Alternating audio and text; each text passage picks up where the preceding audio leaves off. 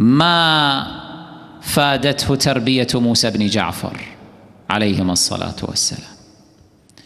فانطلق هذا الخبيث لكي يخرج ثائرا سياسيا عينه على الملك وأحرق الدور وأفسد في البلاد والعباد وكان من جملة الذين اساءوا لأخيهم الإمام الرضا عليه الصلاة والسلام. تحدثنا الروايات ومنها هذه الرواية التي رواها ابن شهر آشوب عليه الرحمة في مناقبه في المجلد الثالث الصفحة 471 أنه دخل زيد بن موسى بن جعفر عليهما السلام على المأمون فأكرمه. المامون للعلم اصطاد هذا ألقى القبض عليه فأرسلوه إلى مرو. وهناك المأمون ما انتقم منه بل أكرمه وعفى عنه.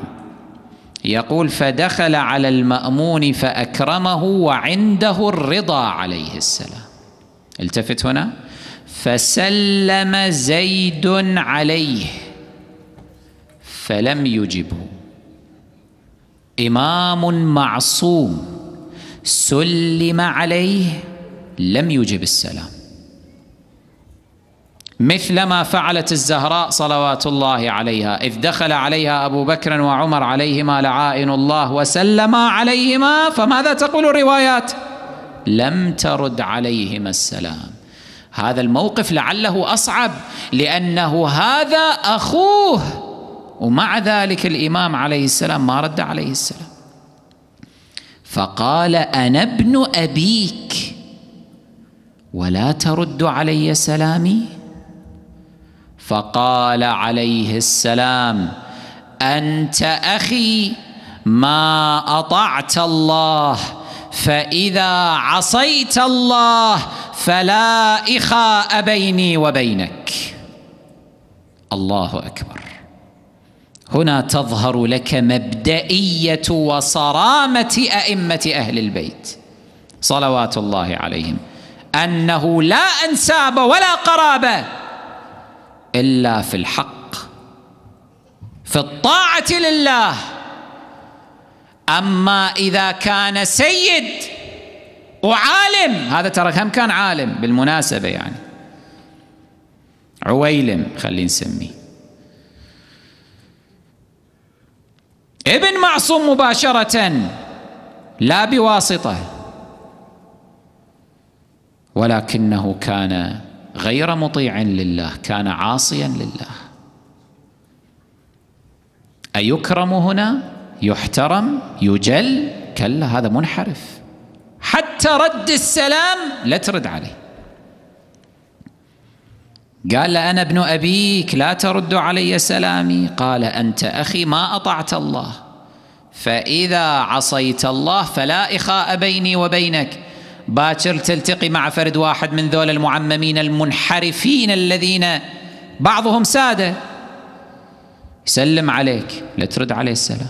يقول لك هذه أخلاق الإسلام ما ترد السلام إحنا مو إخوة في الدين. قل له أنت أخي ما أطعت الله فإذا عصيت الله شنو؟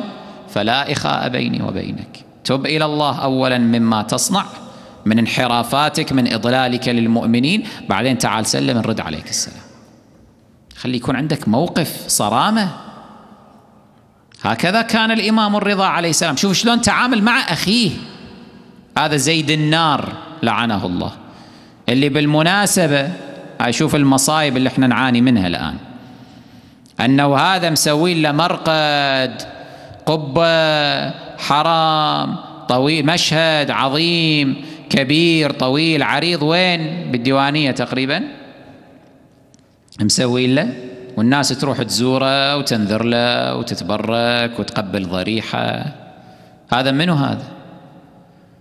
هذا الذي الإمام الرضا عليه الصلاة والسلام حلف أن لا يكلمه إلى آخر يوم من حياته. ملعون مغضوب عليه مذموم.